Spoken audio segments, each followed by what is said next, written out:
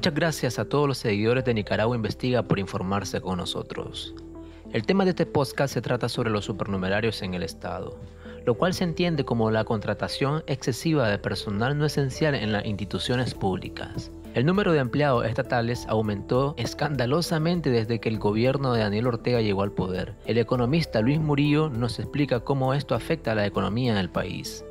Bueno, repercuten los supernumerarios en el sentido de que queda menos presupuesto para ser dirigido a sectores y obras adecuadas, porque prácticamente con estos procesos de globalización y de informatización, no tiene mucho sentido eh, tener más personal, además de que el Estado no es el principal o no debe ser el principal empleador. Yo lo que creo es de que están utilizando eh, los puestos públicos sobre todo como una medida de carácter político para poner a su gente y poder tomar mejor las decisiones de carácter político. El también economista Michael Marenco indica que los supernumerarios reflejan una mala administración en las finanzas públicas.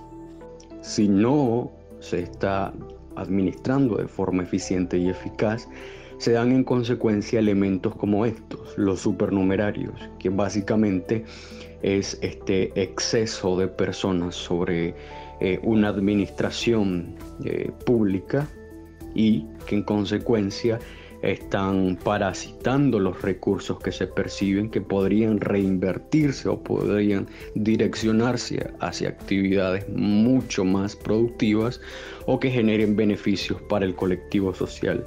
Como consecuencia tenemos que el colectivo hablamos de tejido empresarial y tejido social, está teniendo una pérdida potencial de lo que debería percibir pero no está percibiendo. Cuando el gobierno de Daniel Ortega asumió el poder en el año 2007, el número de empleados estatales era de 39.140. Hoy los reportes oficiales indican que hay 170.000. Es decir, la cifra es tres veces más alta de lo que era hace 13 años. La institución que más nuevas contrataciones refleja es irónicamente una de las más inestables económicamente. Hablamos del Instituto Nicaragüense de Seguridad Social, INS. El economista Enrique Sáenz hizo un análisis con base en los datos proveídos del propio INS y logró determinar que los supernumerarios son parte esencial del problema. El último año de la administración de Bolaños la proporción, el porcentaje de los gastos administrativos en relación a los ingresos era del 6%, es decir, por cada 100 córdobas que ingresaban al INS, 6 se dedicaban a gastos administrativos. Diez años después, ese porcentaje se había duplicado, había pasado del 6% al 12% de los ingresos. En el 2006, la Dirección Superior tenía 10 trabajadores, incluyendo asistentes, asesores, secretaria, etc. Diez años después, esos 10 trabajadores se habían elevado a más de 200 trabajadores, pero también con los salarios, de acuerdo con los mismos datos del INS, en el 2006 había 291 trabajadores que ganaban más de 10 mil córdobas. Menos de 300 trabajadores del INS ganaban más de 10 mil córdobas. Diez años después eran 2.654 trabajadores los que ganaban más de 20 mil córdobas. Es decir, se había multiplicado por 10 la gente que tenía super salarios más de 20 mil córdobas. Y uno podría preguntarse, ¿en realidad necesitaba el INS para una gestión administrativa tanta gente con tantos salarios? La planilla del INS pasó de 1.208 trabajadores en el 2006 a 4.060 en 2015. El superávit de la institución de 1.700 millones de Córdoba se transformó así en un déficit de 2.400 millones de Córdoba, según el análisis de Science. Luis Murillo asegura que si el personal aumentó, la planilla de igual forma tuvo que tener un crecimiento, y eso va mermando los recursos de las instituciones. Lógicamente, si creció en más del 100%, el personal, también la planilla tuvo que hacerlo, mayor gasto en seguro social y en otras prestaciones. De nuevo tenemos el problema de la década de los 80, en donde el Estado por asuntos políticos se convierte en el principal empleador presionando el presupuesto general de la República. En síntesis, el esfuerzo fiscal vendría a representar el peso de la carga tributaria eh, que sostienen los ciudadanos considerando su nivel de renta inicial y el nivel de riqueza final que poseen luego de impuestos.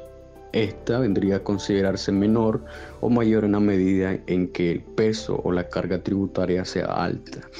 Pero aquí viene el tema, si existe una carga tributaria alta, si, existen muchos elementos que inflexibilizan la libertad económica y que eh, en contraposición son elementos eh, impositivos en este sentido, representan elementos de carga tributaria, el nivel de riqueza después de renta de los agentes económicos se va a ver muchísimo más reducido. En consecuencia, la calidad de vida de las personas desmejora.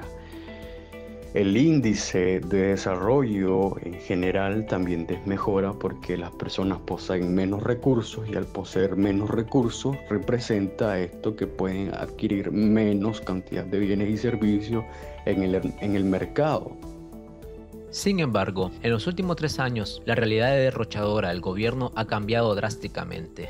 Desde la crisis de 2018 se suspendieron nuevas contrataciones en el Estado, así como aumentos salariales. El documento que contiene los lineamientos para formulación del presupuesto general de la República 2021 y que fue publicado por el Ministerio de Hacienda, reconoce que las recaudaciones han bajado y la tendencia continuará en los próximos meses. Para el economista Michael Marenco, no importa cuánto cogele los salarios el Estado, si el personal no es realmente necesario y el gobierno lo mantiene para asegurarse base partidaria, nunca habrá suficiente dinero para cubrir tanta militancia.